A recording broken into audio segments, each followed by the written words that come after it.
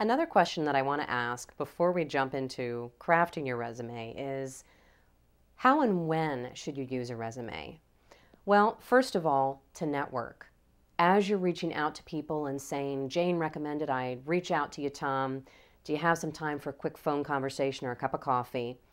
By the way, here's what I'm looking for, and I've attached your resume for your review. So you use your resume in networking.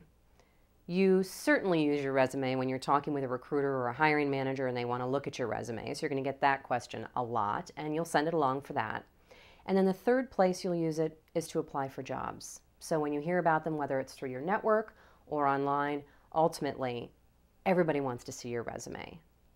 It's important because it's an expected part of the process, but you can use it to your advantage to network, to get in front of recruiters who maybe don't have the job for you right now, just to let them know that you're a good fit for the type of jobs that they have.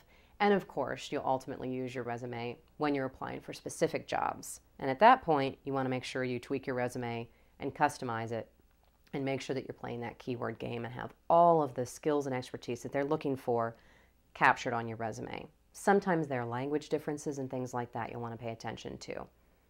So that's how and when to use your resume in your job hunt.